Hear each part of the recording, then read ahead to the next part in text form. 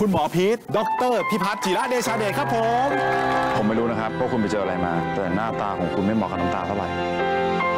ดาวจะต้องแบกรับอะไรหลาย ๆ อย่าง แต่ดาวไม่ต้องเป็นห่วงเลยนะ ผมยังเป็นคนเดิมของดาวเสมอ ผมไม่อยากให้ดาวอยู่ใกล้พี่วินเลยอะนี่หมอพีทหึงดาวเหรอคะ ดาวอนุญาตให้ผมถึงไหมครับ เห็นผมแบบเนี้ยผมก็เป็น FC ดาวนะ